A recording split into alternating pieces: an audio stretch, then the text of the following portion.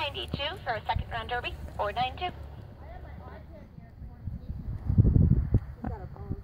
Back the second round of Derby is number 492, Hickory, ridden by Gina Jacobson with the first round 55.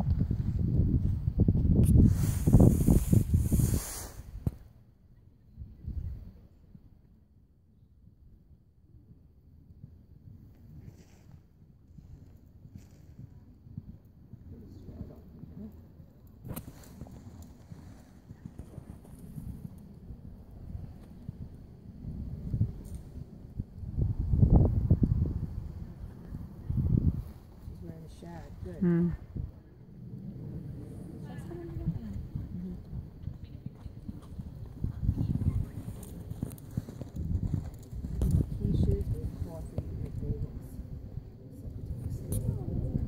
Oh,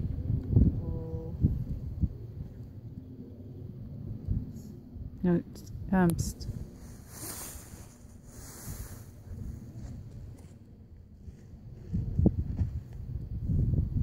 st-